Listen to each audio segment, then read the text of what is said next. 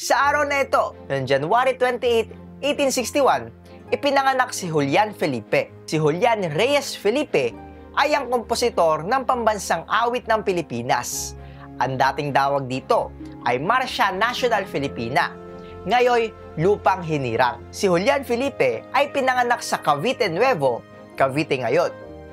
Isa siyang guro ng musika. Siya ay tinalaga ng President Aguinaldo na direktor ng National Band of the First Philippine Republic.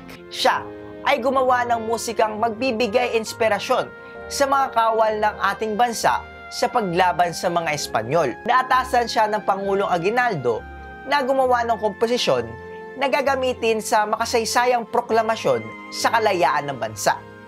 Unang narinig ang Marcha National Filipina noong June 12, 1898.